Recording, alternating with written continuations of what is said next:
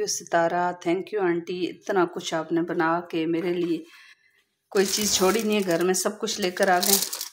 अब इनको खोलूँगी और मुझे लगता है पूरा वीक खाऊँगी इतना कुछ है इसके अंदर।